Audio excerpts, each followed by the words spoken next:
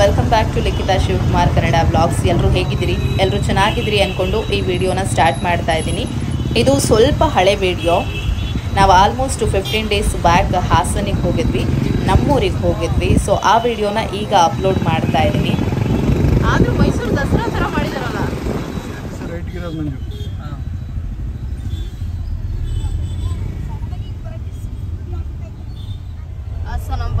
D C ವರ್ಷಕ್ಕೊಂದೇ ಸತಿ Hasanamba temple open ಆಗೋದ್ರಿಂದ ಎಲ್ರಿಗೂ ಆಸೆ ಇರುತ್ತೆ ಹೋಗಬೇಕು ಅಂತ ಹೇಳಿ ನಮ್ಮ ಮನೆಯವ್ರಿಗೂ ತುಂಬ ಆಸೆ ಇತ್ತು. ಬಹಳ ವರ್ಷಗಳ ಆಸೆ ಇವತ್ತು ಫೈನಲಿ ಆಗಿದೆ ಅಂದರೆ ಕಂಪ್ಲೀಟ್ ಆಗಿದೆ. ಆ್ಯಕ್ಚುಲಾಗಿ ಸಂತೆಪೇಟೆ ಹತ್ರ ಹಾಸನಾಂಬ ದೇವಸ್ಥಾನ ಇದ್ರೂ ಇಡೀ ಹಾಸನೇ ಜಗಮಗ ಅಂತಿದೆ. ಅಷ್ಟರ ಮಟ್ಟಿಗೆ ಲೈಟಿಂಗ್ ಎಲ್ಲ ಕಳೆದ. ಎರಡು ಮೂರು ವರ್ಷದಿಂದ ಈ ಥರ ಮಾಡ್ತಾ ಇದ್ದಾರೆ ಹೆವಿ ಲೈಟಿಂಗ್ಸ್ ಎಲ್ಲ ಹಾಕಿ ಬಟ್ ಚೆನ್ನಾಗಿರುತ್ತೆ. ಯಾಕಂದರೆ ನಮ್ಮೂರಲ್ಲೂ ಒಂದು ದೊಡ್ಡ ಜಾತ್ರೆ ನಡೆಯುತ್ತೆ ದೇವ್ರ ದರ್ಶನಕ್ಕೆ ಅಂತ ಅಷ್ಟೊಂದು ಜನ ಬರ್ತಾರೆ ಅನ್ನೋದೇ ಒಂಥರ ಖುಷಿ ಎಲ್ಲ ಹೆಮ್ಮೆ ಜೊತೆಗೆ. ಒಂದೊಂದು ಸರ್ಕಲ್ ಬಿಡದೆ ಎಲ್ಲ ಸರ್ಕಲ್ಗೂ ಹಿಂಗ್ ಮಾಡಿದಾರಲ್ಲ. ಹೌದು. ಇಲ್ಲಿ ಟಿ ಇದೆಲ್ಲ ಹಾಕಿದೆ ನೋಡಿ. ಸ್ಕ್ರೀನ್ ಎಲ್ಲ ಇದೆ. ದರ್ಶನ ಮಾಡಿ ಇಲ್ಲಿ. ಓ. ನೈಟಲ್ಲೇ ಹೋಗಿ ದರ್ಶನ ಮಾಡ್ಕೊಳ್ಳೋಣ ಅಂದ್ಕೊಂಡ್ವಿ ಬಟ್ ಬೇಡ ಅಂತ ಡಿಸೈಡ್ ಮಾಡಿದ್ವಿ ಜರ್ನಿ ಎಲ್ಲ ಆಗಿದೆ. ಸೊ ಬೇಡ ಯಾಕೆ ರಿಸ್ಕು ಅಂತ ಮಾರ್ನಿಂಗ್ ಹೋಗೋಣ ಅಂತ ಪ್ಲ್ಯಾನ್ ಮಾಡಿದ್ವಿ. ರೈಟ್ಗೆ ಸೈನ್ಸ್ ಕಾಲೇಜು ಮಂಜು ಇದು ಸೈನ್ಸು ಆರ್ಟ್ಸು ಎಲ್ಲ ನೈಟ್ ಆರಾಮಾಗಿ ಹೋಗಿ ದೊಡ್ಡಪ್ಪನ ಮನೇಲಿ ಮಲ್ಕೊಂಡು ಬೆಳಗ್ಗೆ ಎದ್ದು ಫ್ರೆಶ್ ಅಪ್ ಆಗಿ ಎಂಟು ಗಂಟೆ ಅಷ್ಟೊತ್ತಿಗೆ ಮನೆಯಿಂದ ಹೊರಟ್ವಿ. ಮನೆ ಇರೋದು ವಿಶ್ವೇಶ್ವರಯ್ಯ ಬಡಾವಣೆಯಲ್ಲಿ ಸೊ ತುಂಬ ದೂರ ಏನಿಲ್ವಲ್ಲ ಅಂತ ಹೇಳಿ ಆರಾಮಾಗಿ ಹೊರಟ್ವಿ. ಬಟ್ ಇಲ್ಲಿ ಬಂದಾದ್ಮೇಲೆ ಗೊತ್ತಾಗಿತ್ತು, ಅಯ್ಯೋ, ಅಷ್ಟು ಕ್ಯೂ ಅಲ್ಲಿ ನಿಂತ್ಕೊಳ್ಳೋದಕ್ಕೆ ನಾವು ರಾತ್ರಿನೇ ಹೋಗಬಾರ್ದಿರ್ತ ದರ್ಶನಕ್ಕೆ ಅಂತ. ಇದು ದೇವಸ್ಥಾನ ಎಂಟ್ರೆನ್ಸ್ ಬಟ್ ಈ ಕಡೆಯಿಂದ ಹೋಗೋಕೆ ಬಿಡಲ್ಲ. ಯಾಕಂದರೆ ನಾರ್ಮಲಿ ಗೊತ್ತಲ್ಲ, ಹಾಸನಾಂಬ ಟೆಂಪಲಿಗೆ ಎಷ್ಟು ಜನ ಬರ್ತಾರೆ ಅಂತ ಹೇಳಿ ಲಕ್ಷಾಂತರ ಸಂಖ್ಯೆಯಲ್ಲಿ ಬರ್ತಾರೆ ಭಕ್ತರು. ಸೊ ಎಲ್ಲರೂ ಡೈರೆಕ್ಟಾಗಿ ಬಿಟ್ಟರೆ ಒಳಗಡೆ ಹೋಗೋದಕ್ಕೆ ಆಗೋದೇ ಇಲ್ಲ. ಹಾಗಾಗಿ V V I P pass V I P pass ಅಂದರೆ three hundred rupees pass thousand rupees pass ಹಾಗೆ ಪಬ್ಲಿಕ್ ಕ್ಯೂ ಇತ್ತು. ಸೊ ನಾವು ಆ್ಯಕ್ಚುಲಾಗಿ ಮೀಡಿಯಾ ಪಾಸಲ್ಲಿ ಹೋದ್ವಿ ಒಳಗಡೆ. ಯಪ್ಪ ಬೆಳಗ್ಗೆ ಬೆಳಗ್ಗೆ ಹೋಗಿದ್ದು. ಅಷ್ಟೊತ್ತಿಗಾಗಲೇ ಒಂದು ಸಾವಿರಾರು ಜನ ಅಲ್ಲಿ ಮೀಡಿಯಾ ಪಾಸಲ್ಲಿ ಅಂತ ಹೋದ್ರೂ ಅಲ್ಲೂ ಕ್ಯೂ ಜಾಸ್ತಿ ಇತ್ತು, ತಲೆ ಕೆಟ್ಟೋಗ್ಬಿಡ್ತು.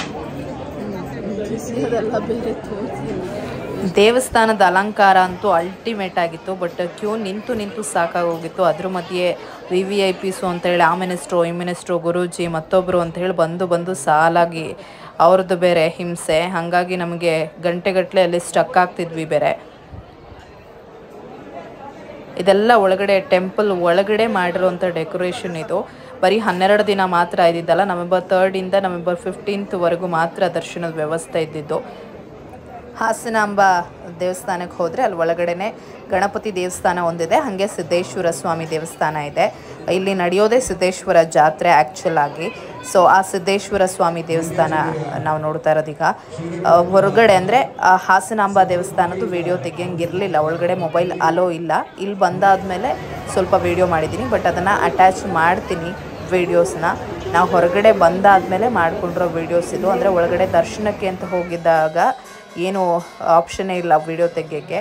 ಇದೆಲ್ಲ ಹಾಸನಾಂಬ ದೇವಿ ದೇವಸ್ಥಾನ ಓಪನ್ ಆಗಿದ್ದ ದಿನದ ವಿಡಿಯೋನ ನಾನು ಅಟ್ಯಾಚ್ ಮಾಡಿದ್ದೀನಿ ಬಾಗ್ಲಿಗೆ ಪೂಜೆ ಮಾಡಿ ತೆಗೆದ್ರಲ್ವ ಆವಾಗ ಇಲ್ಲಿ ಒಂದು ಪ್ರತೀತಿ ಇರೋವಂಥದ್ದು ಗಮನಿಸ್ತಾ ಇದ್ವಿ ವಿಡಿಯೋ ತೆಗೆದ ತಕ್ಷಣವೇ ಅಲ್ಲಿ ಜ್ಯೋತಿ ಉರಿತಾನೆ ಇದೆ.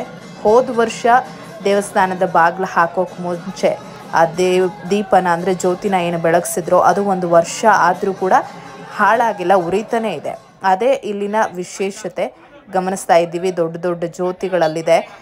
ವೈಷ್ಣವಿ, ಕೌಮಾರಿ ಹಾಗೆ ಮಹೇಶ್ವರಿ ದೇವತೆಗಳು ಇಲ್ಲಿ ಹುತ್ತದ ರೂಪದಲ್ಲಿ ನೆಲೆಸಿದ್ದಾರೆ. ನಾನು ಆಗಲೇ ಹೇಳ್ದಂಗೆ ಈ ದೇವಸ್ಥಾನದ ವಿಶೇಷತೆ ಅಂದರೆ ವರ್ಷ ಪೂರ್ತಿ ಬಾಗಿಲು ತೆಗಿಲಿಲ್ಲ ಅಂತ ಹೇಳಿದ್ರು, ಅಲ್ಲಿನ ದೀಪ ನಂದಿ ಹೋಗೋದಿಲ್ಲ, ಉರಿತಾನೆ ಇರುತ್ತೆ. ಜೊತೆಗೆ ದೇವರಿಗೆ ಹಾಕದಂತಹ ಹೂಗಳು ಕೂಡ ಫ್ರೆಶ್ ಆಗೇ ಇರುತ್ತೆ. ಹಾಗಾಗಿನೇ ಈ ಮೂರು ತಾಯಿಯದಿರು ಕೂಡ ಹಾಸನವನ್ನು ಕಾಯ್ತಾ ಇದ್ದಾರೆ. ಇಡೀ ನಾಡಿಗೆ ಒಳ್ಳೇದು ಮಾಡ್ತಿದ್ದಾರೆ ಅನ್ನುವಂಥ ನಂಬಿಕೆ. ಜನ ಕೂಡ ಅದೇ ನಂಬಿಕೆಯಲ್ಲಿ ಬಂದು ದರ್ಶನವನ್ನ ಪಡ್ಕೊಂಡು ಹೋಗ್ತಾರೆ. ಸೊ ನಾವು ಕೂಡ ಫೈನಲಿ ದರ್ಶನವನ್ನ ಮಾಡ್ಕೊಂಡು ಆಚೆ ಬಂದ್ವಿ. ಸುಮಾರು ನಾಲ್ಕು ಗಂಟೆ ಕ್ಯೂನಲ್ಲಿ ನಿಂತು